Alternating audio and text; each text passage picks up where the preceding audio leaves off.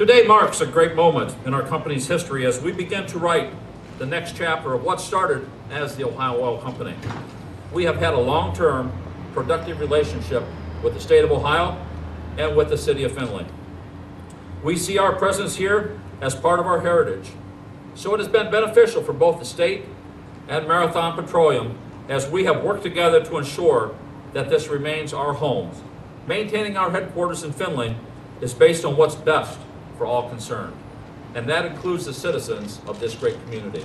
After all, we have a long-term, mutually beneficial relationship, and that's not something anyone can take lightly. For more than a century, we have been a part of this city and county, and so every one of these buildings behind me has a stake in a vibrant, prosperous community. Marathon Petroleum today becomes an independent company with a strong competitive position relative to our industry peers.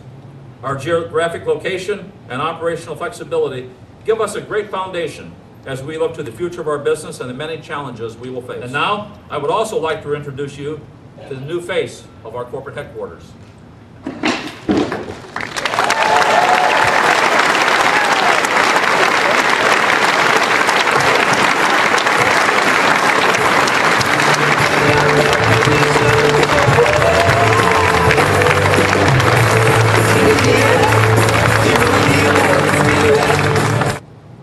Just something about Findlay, isn't there? There's just something about it that makes it such a special place. We've got strong families. We've got patriotism and love of country. We have love and respect for the Lord, our Creator. And we have this sense that we're all tied together in Findlay. One neighbor not separated from another. And Ohio has now passed 11 states in a place where it's, uh, where it's good to do business. A jump of, a, of 11 states in five. Fact is, we're moving forward and we see the future. And he- the great thing about Marathon Petroleum is it is the future. We're just seeing the beginning of job growth in Findlay, Ohio, and Marathon Petroleum because this is a company that does look for the future. This is just a fantastic opportunity, a fantastic day. And I just say this to y'all I love you, Findlay, and I can't wait to come back again and again and again. Good luck. Without Marathon, Findlay's not Findlay. Without Cooper Tire, Findlay's not Findlay.